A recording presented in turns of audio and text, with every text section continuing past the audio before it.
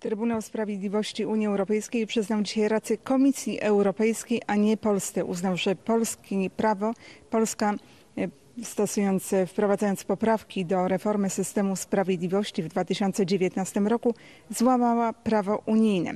E, W szczegółach wygląda to w ten sposób, że m.in. Trybunał w Luksemburgu uznał, że specjalna izba która ma badać odpowiedzialność sędziów, nie, jest, nie ma monopolu, nie jest tą organizacją, która jako jedyna może badać bezstronność sędziów.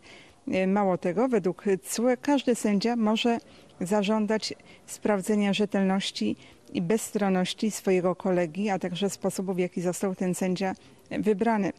Oprócz tego e, CUE uznał, że sędziowie nie muszą nie mają obowiązku tłumaczenia się z tego, do jakich stowarzyszeń należą, do jakich partii przynależą. Nie muszą nawet przed Izbą Nadzwyczajną pokazywać dokumentów, które świadczyć będą o tym, czy należą do jakiejś organizacji, czy też nie należą, bo według CUE byłoby to złamaniem ich prywatności.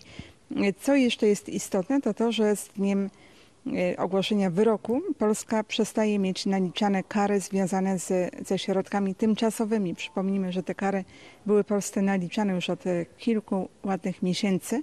Ostatnio zostały zmniejszone na wniosek Polski i zamiast miliona euro dziennie wynosiły pół miliona euro dziennie. W momencie jednak ogłoszenia wyroku e, CUE przestaje naliczać Polsce te kary. I jeszcze jedno, e, są już pierwsze komentarze z Brukseli płynące, zarówno komisarz Jurowa, ale także i komisarz Reinders z zadowoleniem przyjęli dzisiejszy wyrok, twierdząc, że e, liczą teraz na to, że Polska wdroży go w życie, że dostosuje swoje prawo tak, by można było E, zastosować te wszystkie punkty, które wytknęła w dzisiejszym wyroku, e, które wytknął w dzisiejszym wyroku Trybunał Sprawiedliwości Unii Europejskiej. Gdyby jednak Polska zdecydowała się nie realizować tego wyroku, który przecież jest w pewnym sensie sprzeczny z wyrokiem Trybunału Konstytucyjnego, bo w jednym z punktów e, uzasadnienia dzisiejszego wyroku jest mowa o tym, że nawet konstytucja nie jest ważniejsza od prawa unijnego.